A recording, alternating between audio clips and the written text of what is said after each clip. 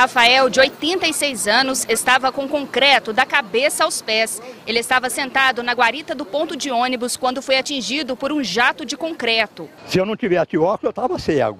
Se o companheiro meu que está lá do meu lado não tivesse óculos, nós estávamos cegos.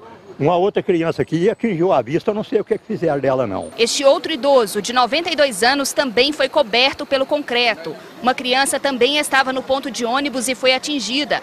Este ônibus da linha 42, que aguardava passageiros descerem, também recebeu impacto. A Polícia Militar informou que o ônibus estava cheio e quatro passageiros foram atingidos pelo concreto e por estilhaços de vidro. A sede do SAMU fica aqui em frente e rapidamente uma equipe de resgate chegou para fazer o atendimento às vítimas que tiveram ferimentos leves. O concreto foi arremessado acidentalmente de um caminhão que estava do outro lado da rua, despejando material em uma obra. A gente está está avaliando o que, que, pode ter acontecido, porque essa bomba, ela, nela tem uma pressão de concreto, ah, ela acabou estourando, certo?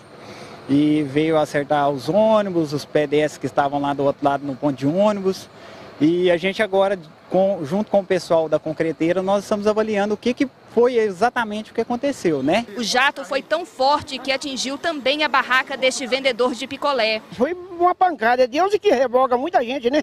Agora eu tive mais dó foi do, do senhor de idoso que estava ali, o ônibus que estava ali, que já estava cheio de gente, quebrou vidro, quebrou, fez uma, fez uma tragédia doida. Quem passou pelo local ficou assustado. Podia pegar qualquer pessoa que matar qualquer pessoa, né?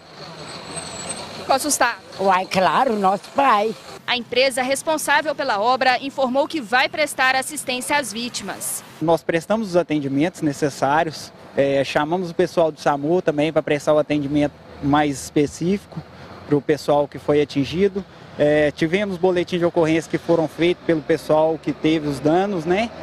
E CETRANS também, a gente tomou todas as providências necessárias de acordo com que o pessoal não ficasse com prejuízo.